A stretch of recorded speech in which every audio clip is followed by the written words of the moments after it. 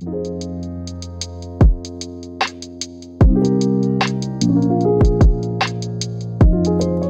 everyone, welcome back to the Pressing Matters. I'm Scott. Thank you for tuning in and thank you for your support. If you haven't already, please consider subscribing. Hit the subscribe button below and the notification bell and you'll be sure to get all the new content that's coming up. Um, today I wanted to take a look back at some of the classical labels, uh, reissue labels of the past and pick out a few highlights and a, a little bit of an overview of some of these labels, some that don't exist any longer. Um, the first one I wanted to show is really a stunner. This is um, the Argenta uh, edition box set that collects all of his recordings that were done for um, Decca London and released in Spain on the Alhambra label. It has a, a little booklet that comes in, um, I think it's six discs plus a 45. This is the famous uh, Nights in the Garden of Spain, Sinfonietta, the three-cornered hat. I'm not going to try to pronounce these in Spanish, even though I live in Miami. Uh, what is this?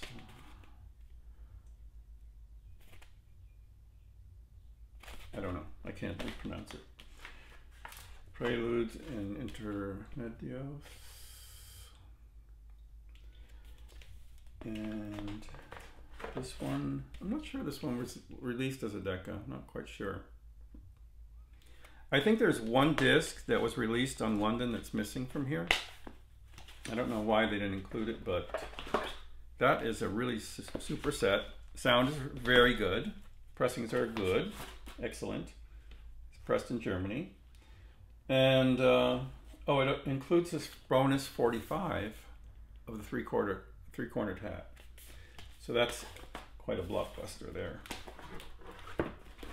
Really fun, cool album. Um, back in the early days of Analogue Productions, they started with a few um, reissues of classical titles. Um, this one is from the Vanguard label. And Vanguard Stereo Lab produced some excellent classical recordings. This is a Stokowski recording of Virgil Thomson uh, compositions. They were done as a limited edition and uh, all tube electronics, um, mastered by Doug Sax and pressed at RTI. Really great. Still very desirable. This was uh, the third one in the series, Night in the Tropics. Same credits. That's also Vanguard recording. And this one is um, from the Vox label. This was taken from a four disc box uh, called uh, Works, Ravel Works for Orchestra. Um, this was one of the better discs in the box, but they all were excellent.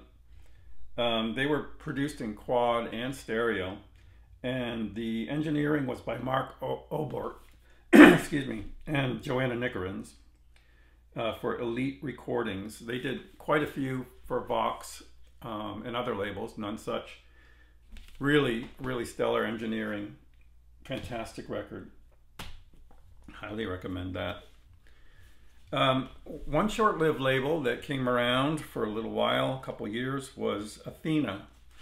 And we all had high hopes that they would stick around. Uh, unfortunately, they did not, but they started out with a bang with this. This was also a um, Vox recording, uh, Rachmaninoff Symphonic Dances. It has since been reissued by Analogue Productions in a 2x45 but this was really well done as well. Um, this one is mastered by Bernie Grundman.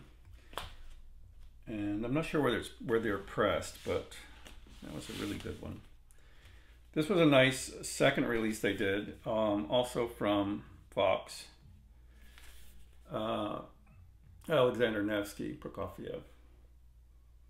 This is not the Reiner version. This is an alternate version. Um, this was done in Powell Hall, a really good hall. for sound. Um, Doug Sax, Tube Electronics, RTI, very, very nice. Uh, their third release, or fourth release, I'm sorry. Third one's really hard to get. It was a Connoisseur Society one, piano record. Uh, this is the fourth one. This is their first reissue of a London recording. Uh, this is Stravinsky Petrushka, and that is a well regarded version of this recording as well. So that's Athena. Um, so Mercury Living Presence uh, was an audiophile legend and still is. And up to the 90s, there was no really good reissues of, of this material. There was the Golden Import series that was done in the Netherlands, um, but they didn't hold up side by side with the original pressings, even though the, um, the vinyl was better. Uh, because the early Mercury Presence recordings were not always on the best vinyl. Only the first pressings are. Um, but Wilma, excuse me, Wilma Cozart Fine, who was the original musical director for this series with her husband Robert Fine, she came out of retirement to do some for classic records, some uh, some reissues for classic records to oversee them. And there was unfortunately only six produced, but they are great. And they picked they picked titles that were popular with the T uh, the Absolute Sound crowd, the TAS crowd, and many of them were on the Super Disc list. Um, they are done from three track uh, originals to, to um, you know master to two track by uh, Wilma Cozart Fine. First one is um, the Love for Three Oranges Suite uh, Sonic Blockbuster. Scythian Suite is on this too. And uh, yeah, there, this was once considered by Harry Pearson to be the best sounding record ever made, um, the original pressing. And that's debatable, but this reissue certainly is uh, a stunner and highly recommended as well in any version. I actually prefer this over the original pressing and I prefer this over both. This is the 45 edition that they did. It's on four discs, single-sided discs. Um, I think these are even better than the single disc pressings, but either one is fantastic. They also did uh, Chabrier, Chabrier uh, collection.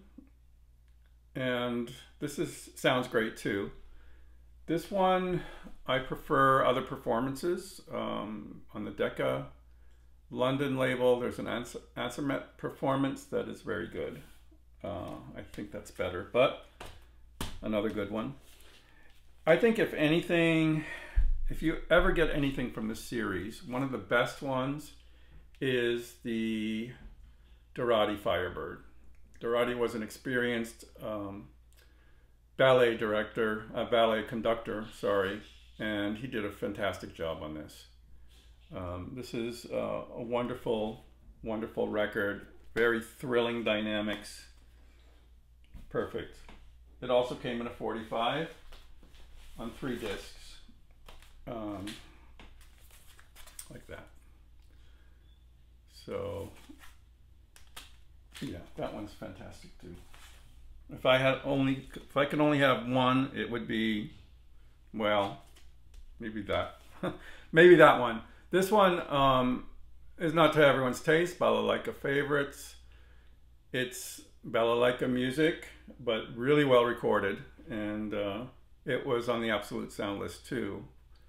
Uh, this is really good too, but uh, check it out before you purchase it. You may not like the music. Um, this one is probably the highlight. This one or the Firebird. This is uh, the Ravel Rhapsody Espagnole disc by Paul Paray. And wow, this one has incredible dynamics, shocking at times. You will love this record. Check it out. They also did, I guess, out of necessity, I suppose. This was considered to be a really hot title at one time, Hi-Fi a la Española, because it was so expensive to obtain. It was pretty rare in the original pressing. Uh, Harry Pearson raved about it. You can see the original cover there. For some reason they did this like in this kind of jacket. But it's it sounds okay, sounds good, but not not a favorite of mine. So the last label I want to cover today, uh, I said I was going to go A through C, is Chesky. Now Chesky Records um, started by producing um, the RCA Living Stereo titles and um, Reader's Digest Classical, both of which are fantastic. Most of them are engineered by Kenneth Wilkinson um, or the Mohr-Layton um, team for the RCAs. And one of their highlights, I think, was The Power of the Orchestra, which was a demo disc back in its day. This, this improved upon it in some ways, and this is a really good one. The Power of the Orchestra. It has uh, Night on Bald Mountain and pictures at an exhibition, so you can imagine the thrilling ride that provides.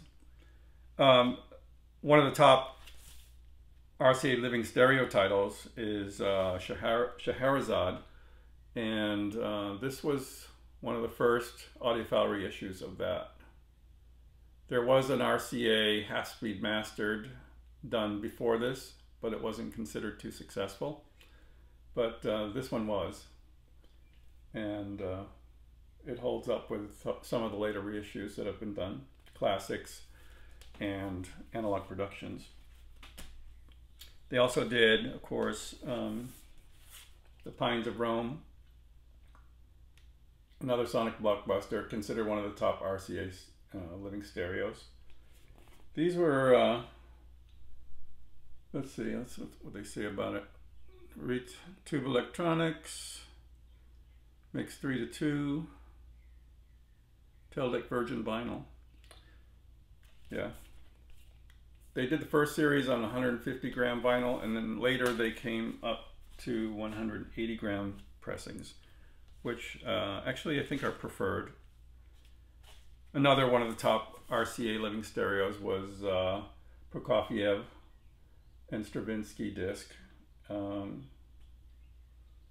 it's a shame they weren't able to use the original cover art on these. They're kind of generic and the typography is a little odd, but they got them out there and that's the main thing. This one they improved the typography at least. This is from Reader's Digest. This is the Brahms uh, Symphony number four. And these are really, really good recordings. If you want to explore classical on a budget, pick up some of those RCA livings, uh, RCA Reader's Digest boxes of classical recordings. Like um, there's a Beethoven box, Festival of Light Classical Music, Treasury of Great Music. I'm going to cover those in another video at some point, but those are treasure troves of excellent recorded material and a good sampler to start your journey on classical. So that's it for today. That's that's A through C, just some highlights from those records, those those uh, labels, and if you have a chance, check out some of these things. If you're not into classical yet, um, these are a good place to start. So thank you for tuning in, and I'll see you next time.